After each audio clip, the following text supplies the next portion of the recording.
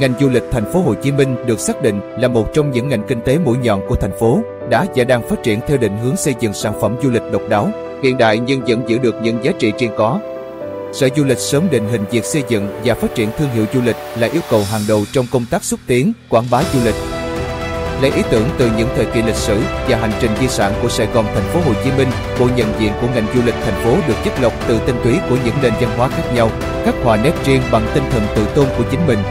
Thiết kế bộ nhận diện thể hiện các yếu tố, cảm hứng dòng chảy sắc màu, trường giao thoa văn hóa, tinh thần hội nhập của văn hóa và con người thành phố Hồ Chí Minh vừa hiện đại, vừa thân thiện và gần gũi, các gam màu tươi tắn bên cạnh sắc đỏ chủ đạo kết hợp với lối kiến trúc đặc trưng của chợ Bến Thành thể hiện rõ nhịp sống năng động, sôi nổi. Không chịu dây brand mềm mại mà lại phóng khoáng, gợi nhớ tính cách cởi mở, luôn vui vẻ chào đón của người thành phố. Phía dưới là cụm chữ Hồ Chí Minh City cứng cáp, khắc họa một đô thị văn minh, hiện đại, nghĩa tình, không ngừng tư duy đổi mới, sáng tạo, đột phá. Tất cả tạo nên một tổng thể hài hòa, thống nhất, chứ không hề đối lập, tương phản. Với mục tiêu gia tăng mức độ nhận biết, về thương hiệu du lịch thành phố Hồ Chí Minh qua việc đẩy mạnh truyền thông. Thời gian qua Sở Du lịch đã không ngừng thực hiện các chiến dịch, chương trình truyền thông với nhiều hình thức phong phú, chủ đề đa dạng, tạo được sự lan tỏa trong công chúng.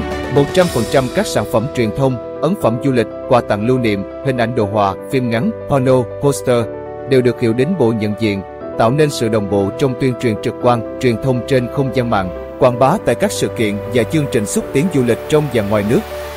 nhận định truyền thông trên mạng xã hội khiến cho việc tiếp cận độc giả trở nên dễ dàng hơn, việc quảng bá hình ảnh, hoạt động du lịch cũng thuận tiện hơn. Sở Du lịch chủ động thực hiện các kênh truyền thông chính thức, du lịch thành phố Hồ Chí Minh Brand Hồ Chí Minh City trên các nền tảng mạng xã hội Facebook, Zalo, Instagram, TikTok, YouTube thu hút lực lượng theo dõi, tương tác ổn định là nền tảng tốt cho những chiến dịch quảng bá thương hiệu du lịch, lan tỏa thông tin về các sự kiện, hoạt động du lịch của thành phố Hồ Chí Minh